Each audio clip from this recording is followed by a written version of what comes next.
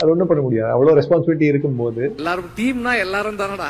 Thank you இந்த சில வாட்டி கத்த வேண்டி வரும். அதுக்கு கத்து கத்துறாரு இவருன்னு சொல்லி கெட்ட கெட்டவராக்கிடுவாங்க. So it's very stressful job வெற்றியோட படத்தை அஞ்சு மணி நேரமோ ஆறு மணி நேரமோ அவர் எவ்வளோ எடுக்கிறாரோ அவ்வளோ அப்படியே போட்டுருணும் அப்படியே பார்க்கணும். அது ரொம்ப நல்லா இருக்கும் actually. ஃபைனலா ஒரு டைலாக் சொல்லி முடிக்கிறாங்க. கொள்கை இல்லாத தலைவர்கள் வெறும் ரசிகர்களை தான் உண்டாக்குவாங்க. அதை பார்த்து ரெண்டு பேர் விஜய் சாரதா இவரை சுட்டி காட்டுறாரா இல்ல அந்த காலத்துல எம்ஜிஆர் அவர்ல சுட்டி காட்டுறாரா. சோ பொலிட்டிக்கல் கரெக்ட்னஸ் எவ்வளவு முக்கியமான இருக்க வேண்டியது இருக்கு? விஜய் சாருக்கு சொல்றாருன்னு நினைக்கிறீங்க. நான் வந்து இப்போ வேற இன்னொருத்தர் பேர் சொல்லலாம். அவருக்கும் அது கரெக்டா தான் இருக்கும்னு சொல்லலாம். இப்போ சொல்லி சொல்லி விட்டேன் அந்த பேரெல்லாம் சொல்லி விட்டேன் இப்போ பொலிட்டிக்கலா கரெக்டா இருக்கதான் வெற்றிமாறன் அவரோட தொடர்ந்து அவங்க அவரோட படத்துல ரொம்ப ஹெல்தியான ஒரு ஆடியன்ஸை உருவாக்கியிருக்காரு. அந்த ஆடியன்ஸுக்கு கண்டிப்பா பிடிக்கும். இந்த படத்துல எந்த வாத்தியாருக்கு ஒரு வாத்தியார் வேணும்னு சொல்லி. ஏன்னா அவரோட லைஃப் அப்படிதான் இருக்கும் எப்படி அவர் அவர் வாத்தியார் இந்த கம்யூனிசம்குள்ள வந்தாருன்னா அவரை கைடு பண்ண ஒரு ஒருத்தர் இருக்கும். அந்த மாதிரி கேரக்டர் நல்லா அடிச்சு எங்க அம்மா வந்து அம்மா எங்க அம்மா அடி வாங்கி அது ஒரு பெரிய இது. அப்போ அந்த பெரிய ரூலர் வச்சிருப்பாரு. இவ்வளவு பெருசா இருக்கும் உடன் ரூலர் அதில் அடிச்சா காலே உடஞ்சிரும். போஸ்ட்ல வீசினாரு நான் வந்து கொஞ்சம் ஃபிளெக்சி ஃப்ளெக்சிபிளாக இருப்போம் சின்ன பசங்க. டக்குன்னு பின்னாடி ஜம்ப் பண்ணிட்டேன். ஸ்லிப் ஆகிட்டு அவர் லூஸாக வச்சிருந்தார். அவர் காலே பட்டுச்சு. கொஞ்ச நேரம் உட்காந்துருந்தார் அந்த வழி தாங்க முடியாமல் அது ஏன் கால பட்டிருந்தா என்ன இருக்கும்னு ஒரு யோசிக்கவே இல்லை அப்போ. சினிமாவில் நீங்க பார்க்கும்போது நிறைய காமெடியன்ஸ் எல்லாம் பாப்பீங்க யாரெல்லாம் ரொம்ப ஃபன்னியா நகைச்சுவா இருக்காங்களோ ரியல் லைஃப்ல ரொம்ப வில்லத்தனமா இருப்பாங்க. சினிமாவில் நீங்க யாரை ரொம்ப வில்லனா பாக்குறீங்களோ உங்க ரியல் லைஃப்ல அவ்வளவு நல்லவங்களா இருப்பாங்க இது எங்கேயோ ஒரு வகையில கிஷோர் அவர்களை ஞாபகப்படுத்திட்டே இருக்கு. ஏன்னா இப்ப உங்க வாழ்க்கை பார்த்து பார்க்கும்போது சினிமா அதை விட்டா எனக்குன்னு ஒரு உலகம் ஸோ உலகத்துக்குள்ள ஒரு வாழ்க்கை ஸோ இது நீங்க அப்பத்துல இருந்து பிரிச்சு வச்ச ஒரு விஷயமா? இல்ல how do you constructed you எனக்கு இப்படி இருக்கிறது பிடிக்கிறது அதனால இப்படி இருக்கணும்னா அது இல்லாம வந்து அப்படின்னு நம்ம கிளியரா எல்லாரையும் ஜெனரலைஸ் பண்ணி சொல்லிட முடியாது. அங்கே காமெடியன்ஸாக இருக்கிறவங்க இல்லை நல்லவங்களாக இருக்கிறவங்க இங்கே கெட்டதா அவங்க கெட்டவங்களா தான் இருப்பாங்கன்னு சொல்ல முடியாது. அது ஒவ்வொருத்தரோட பர்செப்ஷன் ஒவ்வொரு மாதிரியோட தான். ஒருத்தர் கெட்டவர்னு சொல்கிறதும் வந்து அது ஒரு பர்செப்ஷன் தானே. எனக்கு பிடிக்கலங்கிறதுக்காக நான் உங்களை கெட்டவர்னு சொல்லிட முடியாது ஸோ அப்படிதான் எல்லாமே. ஸோ எப்பயுமே ஒவ்வொரு படங்கள் நீங்க பண்ணும் போதும் அந்த படத்துக்கான ஒரு எதிர்பார்ப்பு இருக்கு ஒவ்வொரு விஷயம் இருக்குல்ல. இப்ப ரீசெண்டா விடுதலை ஒரு ட்ரெய்லர் பார்க்கும்போது அது கொடுத்த எண்ணங்கள் இன்னும் பயங்கரமா இருந்துச்சு. ஒரு கம்யூனிஸ்ட் தலைவரா நீங்க வரீங்கன்னு நினைக்கிறேன் அந்த துண்டுலாம் பார்க்கும்போது. எல்லாருமே கே கேட்டிருப்பாங்கன்னு நினைக்கிறேன் எனக்கு தெரிஞ்சு. வெற்றிமாறன் படங்களை நீங்க இல்லாம எப்படி சார் அந்த ஒரு விஷயம்? ஸோ எப்படி வந்திருக்கு விடுதலை? நல்லா வந்திருக்குன்னு நினைக்கிறேன். நல்லா வந்திருக்கும். ஏன்னா ஆனஸ்டா இருக்கும். நல்லா வந்திருக்குங்கிறது எதை வச்சு நம்ம சொல்றது? எந்த பேராமீட்டர் வச்சு சொல்றது? எனக்கு பிடிச்சிருக்கு. ஸோ அது எனக்கு பிடிச்சிருக்கு. நான் மக்களுக்கும் அப்படிதான் இருக்கணும்னு எல்லாம் நான் சொல்ல வரல பட் வெற்றிமாறன் அவரோட தொடர்ந்து அவங்க அவரோட படத்துல ரொம்ப ஹெல்தியான ஒரு ஆடியன்ஸை உருவாக்கியிருக்காரு. அந்த ஆடியன்ஸுக்கு கண்டிப்பா பிடிக்கும்னு நினைக்கிறேன். ஏன்னா அந்த ஆடியன்ஸ் ரொம்ப ஓப்பன் மைண்டடோட வர போறாங்க. இவர் வந்து ஆனஸ்டா ஒரு விஷயத்த பேசுறாரு இந்த படத்துல. ஒரு ஆனஸ்டா ஒரு கதையை சொல்ல போறாருன்னு நம்பிட்டு தான் வராரு. இவரும் அதுக்கு வந்து கரெக்டான இதுதான் பண்ணி பண்ணிட்டு இருக்காரு இவ்வளவு நாளா ஆனஸ்டா கதையை சொல்லிட்டே வந்திருக்காரு. ஸோ டெஃபினட்டா அந்த ஒரு பாண்டிங் இருக்குல்ல அவரோட ஆடியன்ஸ் கூட அவருக்கு. ஓகே ஓகே ஏன்னா இப்போ விடுதலை நிறைய பேர் யோசிக்கும் போது சொல்லுவாங்க அது ஒரு சின்ன படமா வெற்றிமாறன் சார் ஆரம்பிச்சாரு.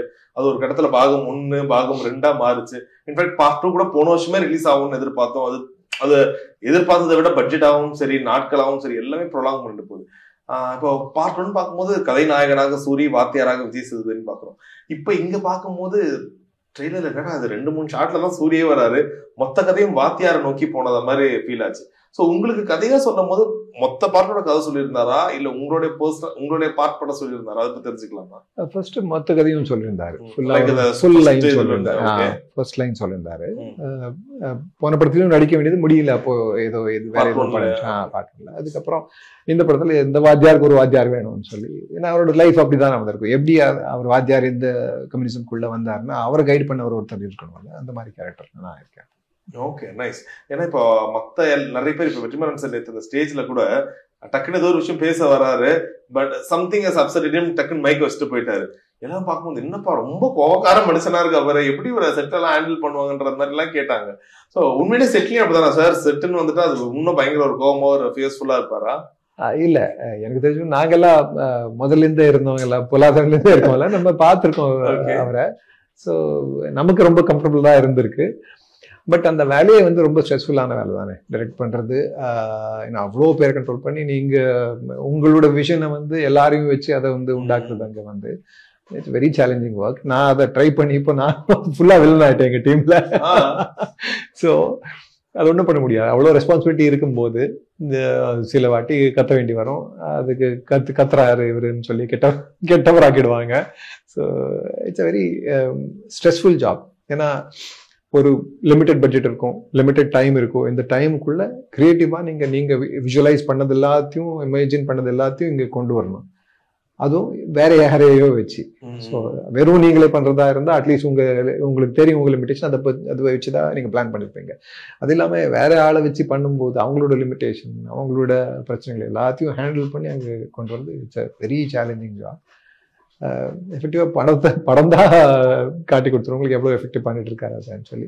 அதுக்கு முன்னாடி நம்ம கத்துறோமோ அழுகுறோமோ எப்படி ஞாபகம் வந்துச்சுன்னா வடச்சனை எப்போ சொல்லியிருந்தார்ல படம் எடுக்கும் போது ஏன்பா அந்த அன்பு கேரக்டரை விட ராஜன் கேரக்டர் எனக்கு இன்னும் பயங்கரமா பிடிக்க ஆரம்பிச்சிருந்த இந்த ராஜன் வகையறான்னு அதுக்கே ஒரு தனி கதை எழுதி படம் எடுத்தாருலாம் கேள்விப்பட்டோம்.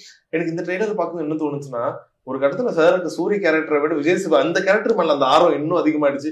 அந்த கேரக்டர் இன்னும் பெருசு பண்ணி பெருசு பண்ணி இப்ப பார்ட் டூல பார்க்கும்போது சூர்யா அவர் கேரக்டரை விட வாத்தியார் தான் நிக்கிறாருன்ற மாதிரி தோணுது. நீங்க எப்படி பாக்குறீங்க இதை? வெற்றியோட படத்துல எப்பவும் கேரக்டர்ஸ் ரொம்ப ஸ்ட்ராங்கா இருக்கும். எல்லா படத்துலயும் எல்லா கேரக்டர்ஸும் மேஜர் கேரக்டர்ஸ் நிறைய. வச்சிருப்பாங்களோ எல்லாமே ரொம்ப ஸ்ட்ராங்கா இருக்கும். அதுக்கு அதோட கதையே இருக்கும். அது கதையை நோக்கி அந்த கேரக்டர் எப்படி இருக்குமோ அந்த கேரக்டரை வச்சு அது போயிட்டே இருக்கும். ஸோ நீங்க கண்ட்ரோல் பண்ணா நீங்க அந்த கேரக்டர் கண்ட்ரோல் பண்ணா கதையை கண்ட்ரோல் பண்ண மாதிரி இருக்கும். கதையை கண்ட்ரோல் பண்ணா தான் கேரக்டர் கண்ட்ரோல் பண்ணும். இவர் எதையும் கண்ட்ரோல் பண்ண மாட்டார். அப்படியே விட்டுருவாரு. So that's the beauty of it ஆர்கானிக்கா கதை வளரும் அங்க இருந்து ஸோ இப்படி ஒரு ஆர்கானிக்கா போட்டிருக்கிற கதையை வந்து நீங்க மேனிப்புலேட் பண்ணாம இருந்தா அதுவே ஒரு அழகு தானே ஸோ இப்போ நான் சொல்லிட்டு இருந்தேன் அதை வெற்றியோட படத்தை அஞ்சு மணி நேரமோ ஆறு மணி நேரமோ அவர் எவ்வளோ எடுக்கிறாரோ அவ்வளோ அப்படியே போட்டுருணும் அப்படியே பார்க்கணும். அது ரொம்ப நல்லா இருக்கும் ஆக்சுவலா Right. அந்த சுருக்கிறது வந்து நிறைய மிஸ் ஆயிடுதுன்னு எனக்கு தோணுது. சரி இப்ப இந்த மாதிரி படங்கள்ல பொலிட்டிக்கல் கரெக்ட்னஸும் அதிகமா பார்ப்பாங்க. ஏன்னா அந்த அந்த டைம்ல என்ன நடந்துச்சோ அதை பயங்கரமா காட்ட வேண்டியது இருக்கும். இன்ஃபேக்ட் அதுல இளவரசர் சார் அவர் பேசுற அவர் சொல்ற டைலாக் வந்து கலைஞர் கருணாநிதியை குறிக்குதோ அந்த தண்டவாளத்துல தலை வச்சதால தான் இன்னைக்கு நீங்க படிக்கிறேன்னு சொல்றதா இருக்கட்டும். ஆஹ் இன்னும் ஒரு விஷயம் நீங்க கேள்விப்பட்டீங்கன்னு தெரியல. கடைசியா கமல் ஃபைனலா ஒரு டைலாக் சொல்லி முடிக்கிறாங்க. கொள்கை இல்லாத தலைவர்கள் வெறும் ரசிகர்களை தான் உண்டாக்குவாங்கன்னு. அதை பார்த்து நிறைய பேர் விஜய் சரதா இவரை சுட்டி காட்டுறாரா? இல்ல அந்த காலத்துல எம்ஜிஆர் அவர்களை சுட்டி காட்டுறாரா? ஸோ பொலிட்டிக்கல் கரெக்ட்னஸ் எவ்வளவு முக்கியமாக இருக்க வேண்டியது இருக்கு?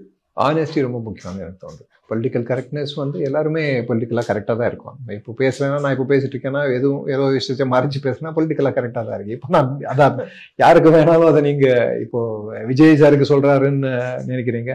நான் வந்து இப்போ வேற இன்னொருத்தர் பேர் சொல்லலாம். அவருக்கும் அது கரெக்டாக தான் இருக்கும்னு சொல்லலாம். இப்போ சொ சொல்லி விட்டேன் அந்த பேரெல்லாம் சொல்லி விட்டேன் இப்போ பொலிட்டிக்கலாக கரெக்டாக இருக்கேன் அதுக்கப்புறம் யோசிச்சு ஐயோ சொல்லிட்டு அதுக்கப்புறம் ஏதாவது படத்துக்கு பிரச்சனை ஆகிட போதா ஸோ ஃபைனலாக வந்து படம் போய் ஜனங்களுக்கு சேரணும்ல.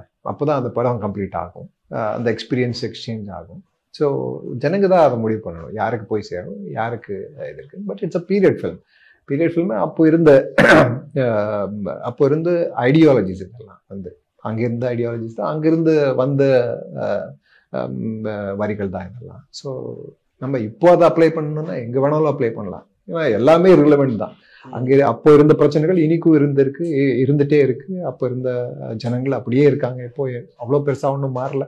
இந்த ஆப்ரேஷன் கூட மாறல. ஸோ எல்லாமே வேற வேற மாதிரியா இருக்கு இப்போ அவ்வளவுதான். வேற விதமா அந்த ஆப்ரேஷன் அப்படியே கண்டினியூ ஆயிட்டு இருக்கு. ரைட் ரைட் ரைட் இல்ல விடுதலை டூவோட நிக்குமா? இல்ல த்ரீ ஏதாச்சும் கண்டினியூ ஆகுமா? ஃபுல்லா வாத்தி ரொம்ப டயரிங் ப்ரோசஸ் இது வந்து ஸ்டேட் பொலிட்டிக்கல் ஃபில்ம் பண்றது இப்போ இருக்கிற பொலிட்டிக்கல் சுச்சுவேஷன் ரொம்பவே கஷ்டமா இருக்கு. ஓகே ஓகே ஸோ அது வேற மாதிரி தான் அவர் முன்னாடி பண்ணிட்டு இருந்தார்ல ஆடுகளம் மாதிரி பொல்லாதவன் மாதிரி. அதுலயும் பாலிடிக்ஸ் இருக்கும். இந்த பாலிடிக்ஸ் தான் ஆடுகளம்லயும் இருக்கு. இந்த. இதே ஜாதி தான் இருக்கு இதே மதம் தான் இருக்கு எல்லாமே இருக்கு. இந்த பாலிடிக்ஸ் தான் பட் வேற மாதிரி இருக்கு. அது தெரியாது கண்ணுக்கு தெரியாது. ஸோ அப்படிதான் எடுக்க முடியும்னு நினைக்கிறேன். ஏன்னா விட மாட்டாங்களே இவங்க. ஆனஸ்டா பேசினா அவங்களுக்கு பிடிக்காது. நீங்க எப்படி நினைக்கிறீங்க? ஒரு படமா எடுக்கிறத விட எடிட்ல நிறைய கட்ட ஆகுதா? உண்மையிலே நான் சொல்றது கொஞ்சம் படத்துல ஸ்ட்ராங்கா சொன்ன விஷயம். நிறைய பேர் சொல்லுவாங்க வெற்றி சார் வந்து எடிட் டேபிள்ல பயங்கரமா மாத்துவாரு. டப்பிங்ல இன்னும் அது பயங்கரமா படமே மாறிடும். டோட்டலாவே மாறிடும் டைலாக்லான்னுவாங்க அது எந்த அளவுக்கு உண்மை? இல்ல மாறுறது வந்து அதான் மெயினா வந்து லென்த்தை குறைக்கிறதுக்காக தான். ஸோ ஏன்னா அவரோட கேரக்டர்ஸ் ரொம்ப ஸ்ட்ராங்கா இருக்கிறதுனால கதை அது எல்லா இடத்துலயும் ஸ்ப்ரெட் ஆயிடும். அந்த கேன்வாஸ் ரொம்ப பெருசாயிடும் ஃபுட்டேஜும் பெருசாயிடும். எல்லா எல்லாமே கம்ப்ளீட்டா சொல்லணும்னா எல்லா விஷயத்தையும் கம்ப்ளீட்டா சொல்லணும். இப்போ நம்ம வடச்சனை பத்தி எப்ப- இப்பதான் பேசிட்டு இருந்தோம் அந்த ஜெயில் எபிசோட்ஸ் எல்லாம் ரொம்ப அழகான நிறைய விஷயங்கள் இருந்தது பட் எல்லாமே கட் பண்ண வேண்டியதாச்சு ஏன்னா மெயின் விஷயத்த சொல்றது அதெல்லாம் ஓகே வேணாம் விட்டுறலாம் சொல்லி. அதெல்லாம் இருந்திருந்தா ரொம்ப அழகா இருந்திருக்கும். வடச்சனாலும் தெரிஞ்சு ஒரு நார்கோ சீரிஸ் மாதிரி ஒரு பத்து எபிசோடா போட்டா கூட பார்க்கலாம். அவ்வளவு கண்டிப்பா. பயங்கரமா பயங்கரமான ஒரு அப்போ சீரீஸ் எல்லாம் அவ்வளவு பாப்புலரா இருக்கலாம்ல. ஸோ அதனால வந்து அப்போ பண்ண முடியல. இப்போ இப்போ பண்றதா அந்த படத்தை டெஃபினெட்லி சீரியஸா சீரியஸா பண்ணிருக்கலாம். அது இல்லாம வந்து ஃபுல் படமாவே ஒரு படமா அஞ்சு அஞ்சு மணி நேரம் உட்காந்து கண்டிப்பா பார்க்கலாம் அந்த படத்தை. அப்படிதான் இருக்கும். ரொம்ப இன்ட்ரெஸ்டிங்கா இருக்கும். நிறைய விஷயங்கள் மிஸ் ஆயிடுது. அந்த விஷயங்கள் மிஸ் ஆனதால என்ன ஆகுதுன்னா அங்க இருக்கிற ஒரு கல்ச்சர் பிகாஸ் இந்த மாதிரி ஒரு ஃபில்ம் மேக்கர் நிறைய டெப்த்ல நிறைய டீட்டெயில்ல விஷயங்கள் சொல்லியிருப்பார்ல. நிறைய விஷயங்கள் அங்க இருக்கிற ஜனங்கள் அவங்களோட கதை அவங்களோட கல்ச்சர் எல்லாமே இருக்கும். அது எல்லாமே வந்து டாக்குமெண்டா இருக்கும். அந்த டாக்குமெண்ட்டே மிஸ் ஆகிடும் இப்போ எல்லாமே இருக்கிறதுனால. ஸோ அந்த மாதிரி மிஸ் ஆகக்கூடாது. எனக்கு அந்த வருத்தம் இருக்கு. அவர் அப்படி இப்படி எவ்வளவு எடுக்கிறாரோ அவ்வளோத்தையும் அப்படியே படமா போட்டு காட்டிட்டா நல்லதுன்னு நினைக்கிறேன். ஒரு நாள் எப்போவாவது வரும்னு நினைக்கிறேன். அதுவும். ஹோப்ஃபுல்லி ஹோப்ஃபுல்லி எனக்கு தெரிஞ்சு ஆஹ், நீங்க ஒரு எடிட்டட் வெர்ஷன் தேட்டர்ல விட்டா கூட எடிட் பண்ணாத வெர்ஷனை நீங்க ஒரு பெருசா ஒரு மாதிரி ஓடிடி ரிலீஸா விட்டீங்கன்னா இன்னும் நல்லா இருக்கும். அண்ட் ஹோப்ஃபுல்லி பேராஷூட் இந்த மாதிரி படங்கள் தேட்டர்கள் தாண்டி இந்த மாதிரி டிஸ்னி ஹாட்ஸ்டார் போன்ற ஒரு பிளாட்ஃபார்ம்ல வரும்போது உலகம் முழுக்க போய் கொண்டு போய் சேரும். எல்லா மெயினா பசங்களுக்கு சின்ன சின்ன பசங்களுக்கு வீட்லயே பார்க்கும்போது அவங்களுக்கு அது இன்னும் ஒரு பெரிய பாடமா இருக்கும். பேரண்ட்ஸ்க்கான பாடம் தான் நினைக்கிறேன். பசங்களுக்கான பாடத்தை Oh, விட. பசங்க வந்து பேரண்ட்ஸுக்கு கற்றுக் கொடுக்குற பாடம். நம்ம வந்து அவங்க கிட்ட கத்துக்கிறது நிறைய இருக்கு. இப்பெல்லாம் நிறைய எக்ஸ்போஜர் நிறைய ஆயிடுச்சு. அது இல்லாம ரொம்ப ஓக்கலா கூட இருக்காங்க பசங்க. அவங்களுக்கு தோணுது தோன்றது வந்து நம்ம ஆக்சுவலா நம்ம தான் கிரெடிட் கொடுத்துக்கணும். நம்ம அவ்வளோ விட்டுருக்கோம் அந்த பசங்களை. அவங்க ஒப்பீனியனை வாய்ஸ் பண்றதுக்கான இது இருக்கும் அப்போதானே நீங்க அந்த வாய்ஸ் எல்லாருக்குமே இருக்கணும். எக்ஸ்பிரஷனுக்கு வாய்ஸ் எல்லாருமே எல்லாருக்குமே இருக்கணும். அது சமுதாயத்துல கூட வீட்டிலும் கூட. ஸோ அப்போதான் உங்களுக்கு உண்மையை ஃபேஸ் பண்ண முடியும். ஸோ நீங்க பெட்டர் ஆக முடியும். ஒரு பெட்டர் சமுதாயத்தை உருவா- உருவாக்க முடியும். ஒரு பெட்டர் ஃபேமிலியை உருவாக்க முடியும்.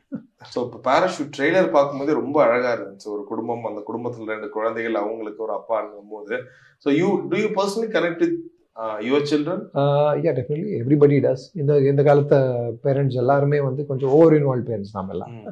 ஏன்னா இந்த மாதிரி பேரண்ட்ஸ் தான் நமக்கு இருந்தாங்கல்ல. ஸோ அந்த மாதிரி இல்லாம நம்ம நல்ல பேரண்ட்ஸா இருக்கணும்னு ட்ரை பண்ண போய் அந்த நல்லவங்களா இருக்கிறது எப்படின்னு தெரியாம ஆஹ், அந்த நல்ல வழியை தேடிட்டு இருக்கிற பேரண்ட்ஸ் தான் நம்மள. இன்னும் கன்ஃபியூஸ் பேரண்ட்ஸ் ஸோ கண்டிப்பா ரிலேட் பண்ணிக்க முடியும்.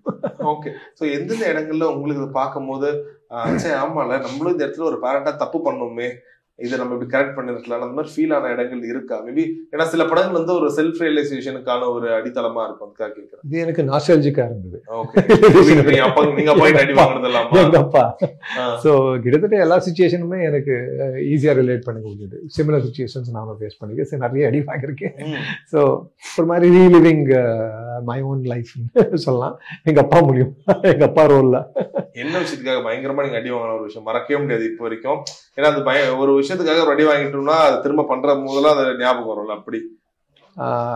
அப்போ அந்த இப்போதான் சொல்லிட்டு இருந்தேன் இன்னொரு இடத்துல அந்த கோலி ஆடிட்டு இருந்தோம் அந்த மாதிரில என் ஃப்ரெண்ட் ஒருத்தன் ஷாபுத்தீன் இருந்தான். அவனுக்கு என்ன ரொம்ப பிடிக்கும். அவன் சம்பாதிச்ச கோலி எல்லாம் எனக்கு கொண்டு வந்து கொடுப்பான். ஸோ ஒரு பெரிய பேக்கே வச்சிருந்தோம். அதுல வந்து அது வந்து சில கோலியெல்லாம் கிடைக்கவே கிடைக்காது. ஃபுல் ஒயிட் ஃபுல் பிளாக் இதெல்லாம் எல்லாம் ரொம்ப அந்த சங்கு அதெல்லாம் இருக்கும் ஆமா சிலதெல்லாம் ரொம்பவே ப்ரெஷியஸ் ஸ்டோன்ஸ் மாதிரி நம்ம வச்சிருக்கோம். எல்லாம் அவ்வளோ இருந்தது. எல்லாத்தையும் கொண்டு போய் எங்க அப்பா கையில மாட்டிக்கிச்சு. ஒரு நாள் கொண்டு போய் எல்லாம் கிணறுல போட்டாரு. கிணறுல போட்டது இல்லாம என்ன நல்லா அடிச்சு எங்க அம்மானோட வந்து அம்மா எங்க அம்மா அடி வாங்கி அது ஒரு பெரிய இது. அப்போ அந்த பெரிய ரூலர் வச்சிருப்பாரு. இவ்வளவு பெருசா இருக்கும் உடன் ரூலர் அதுல அடிச்சா காலை உடஞ்சிரும். அது ஃபுல்லா ஃபோர்ஸ்ல வீசினாரு. நான் வந்து கொஞ்சம் ஃபிளெக்சி ஃபிளெக்சிபிளா இருப்போம்ல சின்ன பசங்க. டக்குன்னு பின்னாடி ஜம்ப் பண்ணிட்டேன். அது ஸ்லிப் ஆயிட்டு அவர் லூஸா வச்சிருந்தாரு. அவர் காலே பட்டுச்சு. ஒரு அரை மணி நேரம் உட்காந்துருந்தாரு அந்த வழி தாங்க முடியாம. அது ஏன் காலப்பட்டிருந்தா என்ன இருக்கும்னு ஒரு யோசிக்கவே இல்லை அப்போ. என்னைய திட்டிக்கிட்டு என்ன ஒன்னால எனக்கு அடி வந்துச்சுன்னு திட்டிக்கிட்டு அப்படியே உட்காந்துருந்தாரு அது இருந்துச்சுட்டு இன்னொரு இடத்துல ஆஹ், ராஜ்குமார் பெரிய பெரிய ஸ்டாருங்கிறனால அதுல ஒரு படம் பண்ணாரு ஆஹ், அதுலதான் அவருக்கும் வந்து ஃபேன்ஸ் வந்து ரொம்பவே ஃபேன்ஸுக்கு பிடிக்காம போன ஒரு படம். ஏன்னா ஹீ ட்ரைட் எக்ஸ்பெரிமெண்டிங் அதுல. ஓகே நானொப்ப கள்ளான்னு ஒரு படம். இல்ல அதுல இல்ல நினைக்கிறேன் ஒரு படத்துல. ஓகே இது வேற படம். சாரி நானொப்ப கள்ளா நான் ஒரு நான் ஒரு திருடன் சொல்லி ஒரு படம். அந்த படம் பெரிய ஹிட் ஆயிடுச்சு. ஸோ ரொம்ப இன்ட்ரெஸ்டிங்கா இருக்கும் ஃபில்ம் அது. அந்த படத்தோட ஃபேன்ஸ் நிறைய பேர் இருந்தாங்க என் ஃப்ரெண்ட்ஸ் எல்லாம். அவங்க எல்லாம் வந்து புக்ல நானும் பக்கலா நானும் பக்கலான்னு எழுதிருந்தாங்க நானும் என் புக்ல வந்து எல்லா பேஜ்லயும் நான் ஒரு திருடன் நான் ஒரு திருடன். எங்க அப்பா பார்த்துட்டாரு பார்த்து அதை வந்து பார்த்து அடிக்கிறாரு. எனக்கு எதுக்கு அடிக்கிறாருன்னே தெரியல. புக்ல படத்தோட பேர் தான் எழுதிருக்கேன் ஏன்னா ஏன் அடிக்கிறாருன்னு சொல்லி எனக்கு அவ்வளவு புரியல. அவ்வளவு சின்ன வயசு ஒரு ஒன்னாம் கிளாஸ் நினைக்கிறேன். நான் ஒரு திருடன் நான் புக்ல எடுத்துனா என்ன ஏன் அடிக்கணும்? அவருக்கு தெரியும் படம் பேர் வந்திருக்குன்னு சொல்லி. ஸோ இப்படி இருந்தார் எங்க அப்பா. அதுக்கப்புறம் லேட்டர் உங்களுக்கு ஒரு பீரியட் இருந்திருக்கும்ல. அந்த டைம்ல இப்படி அடிச்சதால தான் நான் இப்படி இருக்கேன். நான் அப்படி நீங்க நினைச்சீங்களா? இல்ல அதுக்கப்புறம் அப்பா கிட்ட சொல்லிருக்கீங்களா இந்த இந்த விஷயத்துக்குலாம் ஏன் அடிச்சியப்பா அவ்வளோ பேசுற கம்ஃபர்ட் வரவே இல்லை ரெண்டு பேருக்கு கூட அவ்வளோ கம்ஃபர்ட் வரவே இல்லை. அப்படிதான் இருந்தாரு. ஓ, கடைசியா அவருக்கு டிமென்ஷன் வேற டிமென்ஷியா வேற வந்துருச்சு. டிமென்ஷியா வந்ததுக்கு அப்புறம் அஹ், மறைவெல்லாம் வந்துருச்சு. ஸோ நிறைய மறந்துட்டாரு. ஸோ சிலது மட்டும் ஞாபகம் இருக்கும் அவருக்கு. ஸோ எங்களையே வந்து அப்பப்போதான் கண்டுபிடிப்பாரு ம். ஸோ இதில் கண்டுபிடிக்க மாட்டாரு அந்த மாதிரி நிலைக்கு போயிடுச்சு. ஸோ எப்பவும் அந்த மாதிரி டிஸ்கஷன் பண்ற அளவுக்கு நம்ம நெருங்கவே இல்லை ரைட் ரைட் ரைட் ஓகே அப்ப எனக்கு தெரிஞ்சு இந்த படம் உங்களுக்கு இன்னும் ரொம்ப பயங்கர நெருக்கமான படங்கள்லாம் ரொம்ப ரியலிஸ்டிக்காக இருக்கும் எனக்கு. என்னோட எக்ஸ்பீரியன்ஸ் மாதிரியே. அதான் சொல்லிட்டு. என்னோட கதை அது. இல்ல இல்ல நிஜமா என்னோட கதை இல்ல ஆனா கிட்டத்தட்ட என்னோட கதை தான் இது சரி நீங்க எப்பாச்சும் உங்க பசங்களை தொலைச்சிட்டுன்னு இல்ல லைக் அவங்களுக்காக ரொம்ப ஃபீல் பண்ண ஒரு இடம் அதெல்லாம் என்னவா இருக்கும் உங்க லைஃப்ல நான் இப்போ இந்த வேலை பண்ணும்போதே வந்து கண்டு கண்டினியூஸாக வெளியே இருப்போம்ல. வீட்டுக்கு போக மாட்டோம் போ- போகவே முடியாது. அந்த மாதிரி நிலைமையில ரொம்ப கஷ்டமாக தான் இருக்கும். இப்போதான் ஒரு இன்டர்வியூவில் சொல்லிட்டு இருந்தேன். என் சின்ன பையன் ஒருத்தன் பெரிய பையன் சின்னவனாக இருக்கும்போது ஒரு ஃபர்ஸ்ட் டைம் கனடாவில் ஒரு லீட் ரோல் பண்ணிட்டு இருந்தேன் புலின்னு சொல்லி ஒரு படம். அதுக்காக ரொம்ப நாள் வெளியே இருக்க வேண்டியதாகிடுச்சு நிறைய டேஸ் தேர்ட்டி ஃபார்ட்டி டேஸ் என்னமோ இருந்தது. ஸோ ரொம்ப நாள் வெளியே இருந்து அந்த டைமில் ஏதோ வெளியே போயிருந்தாங்க. அவங்க பாட்டி கூட. அங்கே ஏதோ இந்த வாத்தியம்லாம் வாசிச்சுட்டு இருக்காங்க. அங்கே பார்த்து டும் டும் கல்யாணம்னு சொன்னாங்க எந்த எங்க வாசிச்சாலும் கல்யாணம் தாங்க அவங்க இல்லை இல்லை யாரோ இறந்து போயிருக்காங்க. கல்யாணம் இல்லை அதுன்னு சொல்லியிருக்காங்க. அதை வச்சு இவன் வந்து வீட்டில் சும்மா உட்காந்துருந்தானா என்ன ஏன் சும்மா உட்காந்துருக்கு எதுவும் பேச மாட்டேங்கிறேன்னா I think my papa is dead எதுக்குன்னா ரொம்ப நாள் ரொம்ப நாள் நேரமா நான் ரொம்ப நாளாக நான் வீட்டுக்கு வரல அவங்க கேட்டு சாரி சாரி அந்த டும் கல்யாணத்தில் அது சொன்னதுக்கப்புறம் அவங்க அவனுக்கு புரியல. செத்து போயிட்டாங்கன்னா என்னன்னு கேட்டால் அவங்க சொல்லியிருக்காங்க. போனவங்க திரும்பி வர மாட்டாங்கன்னு சொல்லி. ஸோ அதை வந்து இவன் உட்காந்து யோசிச்சு. ஸோ ரொம்ப நாள் இவன் வரல இல்லை அதனால செத்து போயிட்டான். எனக்கு அதை கேட்டு ஐயோ என்னடா இது? நம்ம வெளியே போனால் இப்படியெல்லாம் யோசிக்கிறாங்களே பசங்க. ஸோ பட் சினிமால வந்து யூ கான் ஹெல்ப் இட் இப்போ வேற வேற லாங்குவேஜ் இப்போ செவன்டீன் பெரிய பையன். செவன் எயிட்டீன் கிட்டத்தட்ட. செவன்டீன் ஆயிடுச்சு அவனுக்கு. சின்னவன் ஃபிஃப்டீன் ஓகே ரைட் இப்போ நிறைய ஆக்டர்ஸ் கேள்விப்படும் சொல்லு மேபி இப்போ ஒரு பாலிவுட் எக்ஸாம்பிள்லாம் ஒரு விஷயம் கேள்விப்படுவோம். லைக் மோஸ்ட் ஆஃப் ஒரு eighty percent ninety percent Bollywood பீப்புளோட பசங்க ஒரே ஸ்கூல்ல படிப்பாங்க ஒரே காலேஜ்ல படிப்பாங்க. தி லிவ் ப்ரிவிலேஜ் லைஃப் கரெக்டா அவங்களுக்கு இல்லை. இப்போ உங்களுடைய பர்சனல் லைஃப் பத்தி பார்க்கும்போது யோபினியா நிறைய பேர் அவரோட அந்த ஒரு அக்ரோ பத்தி கேளுங்க. அவர் எந்த அளவுக்கு இதெல்லாம் இருக்கு ஏதாச்சும் டிப்ஸ் கேளுங்க முதற்கொண்டு சொல்றாரு. So what kind of life நீங்க உங்க பசங்க லீட் பண்ணணும்னு நினைக்கிறீங்க? அவங்களுக்கு நீங்க கொடுக்குற லைஃப் எப்படி இருக்கு சார் நாங்க லீவ் பண்ண லைஃப் இல்லாம வேற எந்த மாதிரி வேணாலும் வளர்ந்தா ஓகேன்னு தோணுச்சு. ஏன்னா ரொம்ப லிமிடேஷன்ஸ்ல தான் நாங்க எல்லாம் வளர்ந்தோம். லிமிடேஷன்னா ரொம்ப கண்ட்ரோல்ல வளர்ந்தோம். எதுவும் எக்ஸ்பிரஷனுக்கு இடமே இல்லாம வாய்ஸ் நம்ம ஒப்பீனியனை வாய்ஸ் பண்ணுறதுக்கு இடம் இல்லாமல் தானே வளர்ந்தோம். ஸ்கூல்லலாம் ஸ்ட்ரிக்டாக இருக்கிறதே ஒரு வேலை. ஸ்ட்ரிக்டாக இருக்கிறதே ஒரு கரெக்டான வழின்னு தானே அவங்க யோசிச்சாங்க. அது இல்லாமல் வளர்க்கணும்னு தான் ஆசை இருந்தது. ஸோ பசங்களை வந்து அதனால தான் அந்த ஜெய கிருஷ்ணமூர்த்தி ஃபவுண்டேஷன் ஸ்கூலில் வேலி ஸ்கூல்னு இருக்குங்க இங்கே தி ஸ்கூல் இருக்குல்ல? ஸோ அதே மாதிரி இங்கே வேலி ஸ்கூலில் இருக்குது so where there is a very like நிறைய இருக்குது நிறைய ஃப்ரீடம் இருக்குது எக்ஸ்பிரஷனுக்கான ஃப்ரீடம் ஸோ எக்ஸாம்ஸ் இல்லை.